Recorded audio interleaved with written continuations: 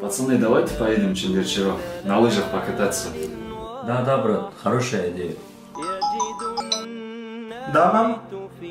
Что? Срочно надо проехать? Да, хорошо, хорошо, мам, сейчас я приеду. А что там насчет отдыха? Мы же хотели поехать отдохнуть. Езжай, езжай, брат. Мама это святое. Хорошо, пацаны, извините, я пойду. Вам удачи, успехов, приятного отдыха. Ой, все, пойдем.